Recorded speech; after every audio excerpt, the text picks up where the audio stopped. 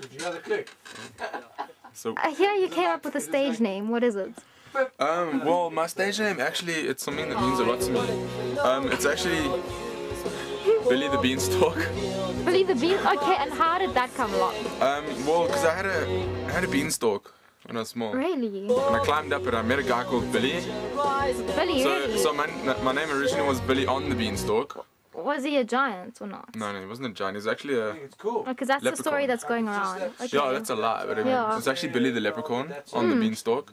But I mean, that's too long to say. So Billy the Beanstalk actually it works nicely, you know. And then Chicks what, dig it. It's now the same Really? repeat.